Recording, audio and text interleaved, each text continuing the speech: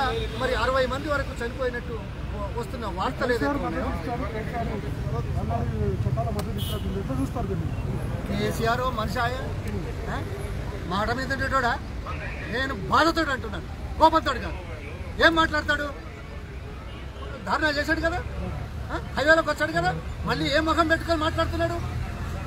అసెంబ్లీలో తీర్మానం చేయమని చెప్పాం కదా? ఎందుకు చేయడు? తెలియవయసులుగా మళ్ళీ మద్దతు చేస్తున్నాడు కదా? కొనుగోలు కేంద్రాలు ఎత్తేసాడు కదా? ఎవడప్పసమ్మయ్యా ఎవడి జాగిరయ్యా ఎక్కడి నుంచి వచ్చావయ్యా? ఎందుకు వచ్చావయ్యా? ప్రజల బాధలు రైతుల కష్టాలు తెలుసుకోకుండా మాట్లాడి పరిపాలన చేస్తున్న నీకు ప్రజలు శిక్ష వేస్తారు ఖచ్చితంగా వేస్తారు. నీ జీవితంలో ఇంకా ఇంకో మాట మాట్లాడుతున్నారు ఏంటంటే ఇవాళ ఇంకో మంత్రితోటి ఆయన కొడుకును మా ముఖ్యమంత్రి చేయాలి. నాకు తెలిసి ఎందుకు ఉపాయం అంటున్నాడు? తన అవినీతి కేసుల నుంచి పాతవి ఇప్పటికే ఉన్నాయి. సహారా తర్వాత ఎన్ఫోర్స్మెంట్ మిగతా పాస్పోర్ట్ల కేసులు అవి పాత అట్లే ఉన్నాయి? అవి ఉన్నాయి. ఇప్పుడు కొత్తగా ఈ ముఖ్యమంత్రి అయిన తర్వాత జరిగిన అవినీతి మీద విచారణ చేస్తే పదవి కాదు. న్యాయస్థానాలు ఉరేసే అవకాశం ఉంది. ఈ వంక తీసుకొని బీజేపీ ప్రభుత్వానికి మద్దతు పలుకుతూ తానుంటే ఇంకా ఎక్కువ నష్టమవుతుందని కొడుకును పెడుతున్నాడు. కొడుకును పెడితే అయ్యో కొడుకు ఇచ్చిపోతే ఈయన మీద కేసులు పెడుతున్నారని సానుభూతి వస్తుంది.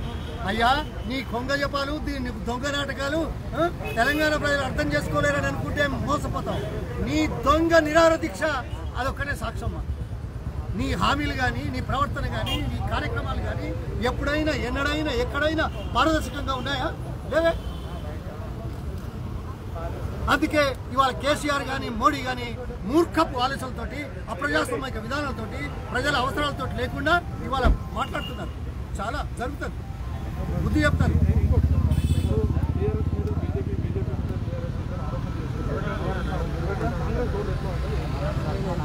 కాంగ్రెస్ మాకు మొదటి మేము ఉన్నాము. వాళ్ళకు ఇంకేం మాట్లాడేది అవకాశం లేదు. డ్రామాలు దేవుడికి దండం పెట్టడం ఈయన మీద ఆయన కొట్టడం ఆయన మీద ఈయన కొట్టడం. ఎక్కడన్నా ఏడు సంవత్సరాల్లో కేంద్ర ప్రభుత్వం ఉంది కదా? తెలంగాణ దేనికోసం ఇచ్చారు? తెలంగాణ ప్రజల ఆత్మగౌరవాన్ని కాపాడడానికి తెలంగాణ ప్రజల ఆత్మగౌరవాన్ని గుర్తించడానికి. తర్వాత వారికి కావాల్సిన అవసరాల మీద ఆరు దశాబ్దాల పోరాటంలో వచ్చిన చరిత్ర పార్లమెంటులో బిల్లు బీజేపీ అయితే ఒక్క ఓటు రెండు రాష్ట్రాలు అన్నది ఏం చేయలేదు. అప్పుడు? కానీ ఇప్పుడు సహకరించింది. బిల్లు వచ్చి. మేమేమంటున్నాం కదా. ఇది కాదు ఇది చట్టవిరుద్ధం కాదు కదా. నిమిషం. ఇది చట్టవిరుద్ధం కాదు కదా. మేము ఎవరికి అబ్జెక్షన్ చెప్తలేం కదా. మీకు అడ్డు రావట్లేదు కదా. ఎందుకయ్యా? అంటే అది కూడా టైం మీరే పెట్టారా? మాట్లాడేది కూడా? ఇది ఎక్కడి పోటీ? కాదు కాదు. ఇది ఎక్కడి పోటీ? మిమ్మల్ని అడిగి ఎంతసేపు మాట్లాడాలి? ఏం మాట్లాడాలి? ఇది బాగాలేదు. ఇదంతా బాగాలి ప్రజలకు? ఇప్పుడు మేము అధికారంలో ఉన్నా ఇంకెవరు అధికారంలో ఉన్నా ఓ పద్ధతి మర్యాద మాట ఉండాలి కదా. ఇప్పుడు ఏం మాట్లాడారు?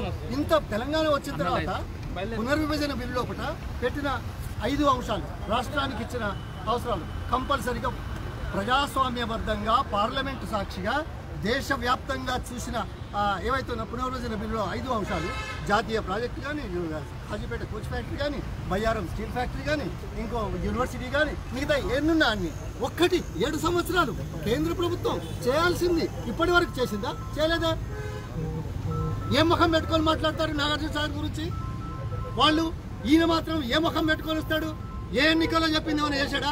నిన్న దురదృష్టం పాలమూరు రంగారెడ్డి మీద అరవై వేల కోట్లు పెట్టి ఒక్క చుక్క నీరు లారేటువంటి పరిస్థితుల్లో ఉంటే ఏడు సంవత్సరాల తర్వాత నాగార్జున సాగర్ ఉప ఎన్నిక కాబట్టి ఆ ప్రాంతానికి కావాల్సిన రెండు లిఫ్ట్ ఇరిగేషన్లు. ఎంత? నాలుగు వందల కోట్లు. నీకు ఏడు సంవత్సరాల్లో నాలుగు వందల కోట్లు కనుక ఆ ఏరియాలో కనుక ఆ నియోజకవర్గంలో కనుక ఖర్చు పెడితే ఈ ఆరు సంవత్సరాలు దాదాపు ఇరవై వేల ఎకరాలు పారేది ఉంటే కనీసం పదివేల కుటుంబాలు ఉపాధి కలిగించేది కదా ఉత్పత్తి వచ్చేది కదా. లాభం జరిగేది కదా. ఏం జ్ఞానం అయ్యా ఏమి జ్ఞానం ఉంది? ఏం చేస్తున్నావు? ఫామ్లో ఎందుకు పట్టున్నావు ఇప్పుడు ఎందుకు పెరుకున్నావు? ఎన్నికలు ఉన్నాయని చెప్పి గొర్రెలు పంపకం. ఎన్నికలు ఉన్నాయని చెప్పి లిఫ్ట్ ఇరిగేషన్. ఎవడయ్యా నీ డ్రామాలు నీ మోసం ప్రజలు అంటగడతారు. నీ యజ్ఞాలు పూజలు నీకు రక్షించలేవు అని మాట చెప్తున్నాను మనిషిలో భగవంతుని చూసినప్పుడే. భగవంతుని పూజిస్తే పుణ్యం వస్తుంది అనుకుంటున్నాం. కానీ ప్రతి మనిషిలో భగవంతుని చూస్తే ఆపదలో ఉన్నవాన్ని ఆదుకుంటే మానవునికి కావాల్సిన అవసరాలు ప్రజాస్వామ్యబద్ధంగా ఎన్నిక కాబడిన ప్రభుత్వాలు కానీ ముఖ్యమంత్రి కానీ తీర్చినప్పుడే ఆ భగవంతుడు సంతోషిస్తాడు. కానీ నీ కుచ్చిత కుతంత్ర పూజలతోటి భగవంతుని కూడా మరిపిద్దామని చేసే కార్యక్రమం ఏదైతే ఉందో నీచ నిశ్చిత జీవితానికి చ- మొదలవుతుంది అనే విషయం తెలియదు Subscribe us and press the bell icon for more interesting updates.